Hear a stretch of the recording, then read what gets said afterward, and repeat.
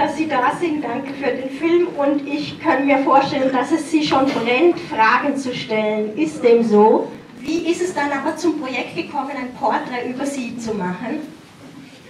Bitteschön. Genau, danach aber auch an Sie. Ja, na, das war der Film über den jüdischen Friedhof in Berlin-Weißensee und ich hatte damals nach einem Rabbiner gesucht und ähm, ja, Willy Wolf ist mir empfohlen worden und ich war damals ganz begeistert, dass also nicht nur ein Rabbiner kam, sondern eben wirklich ein geborener Schauspieler mit sehr viel Witz und Charme und der diesen Friedhofsfilm, ja, das ja nun wirklich ein schweres Thema ist, doch ein bisschen ja, Lebensfreude äh, ja, vermittelt hat und auch dass die, die Zuschauer dann äh, doch sehr heiter aus dem Film gegangen sind. Und eigentlich gab es schon bei der ersten Vorführung damals 2011 die ersten Leute, die gleich gesagt haben, also wer ist denn dieser Mann und erzählen Sie uns mehr über ihn. Und wenn ich dann anfing zu sagen, ja, also er lebt in London, aber er ist Landesrabbiner in Mecklenburg-Vorpommern, fliegt immer hin und her, macht Yoga und geht zum Pferdebetten und so, dann haben wir gesagt, ja, warum machen Sie denn keinen Film über ihn?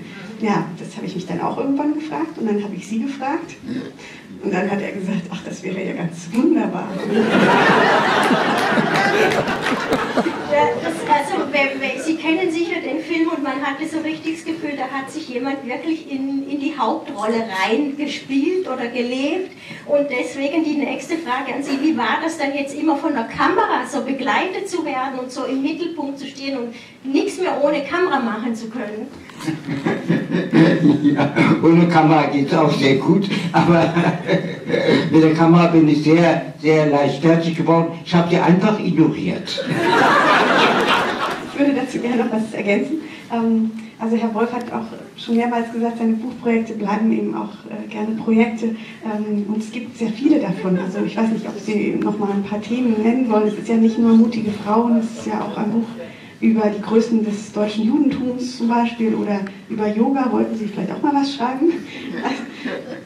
Aber ähm, wir haben eben auch jetzt ähm, aus der Erfahrung, weil wir eben so viel Material gesammelt haben, es sind über 100 Stunden Material, was ja alles nicht im Film unterkommt. Ich meine, das ist ja auch ein Leben, was nicht in ja, 90 Minuten reinpasst. Ähm, wir haben ein kleines Büchlein gemacht. Also es gibt jetzt ein paar Geschichten von denen, die nicht im Film sind.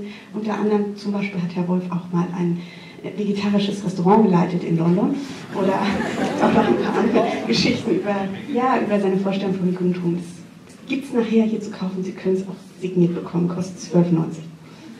Planen ein Buch über Ihr Leben zu schreiben? Äh, äh, Im Grunde genommen nein. ich finde es höchst uninteressant. Und äh, äh also ja, also vorläufig eben nicht. Sie hätten über die Zerrissenheit zwischen Deutschland, England, Niederlanden geredet, was Sie heute sagen würden, ob Sie Deutscher, Engländer oder Niederländer sind. Der Pass ist ein Englischer. Ja, und da ist dann eben auch äh, das Zuhause. Es gibt im Englischen einen schönen Ausdruck, dass, äh, der besagt, Zuhause ist, wo das Herz ist. Äh, bei mir ist Zuhause, wo die Bücher sind.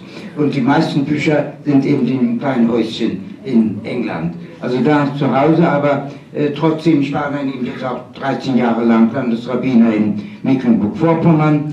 Äh, den Posten habe ich sehr gerne gehabt, hat mir sehr, sehr viel bedeutet. Wir sind alle gut nach Haus. Und die Sie sehr, sehr vorsichtig.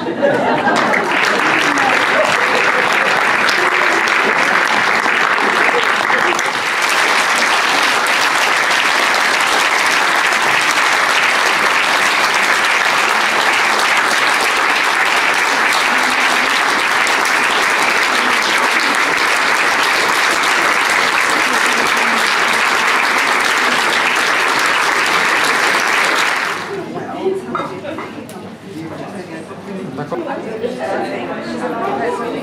Danke.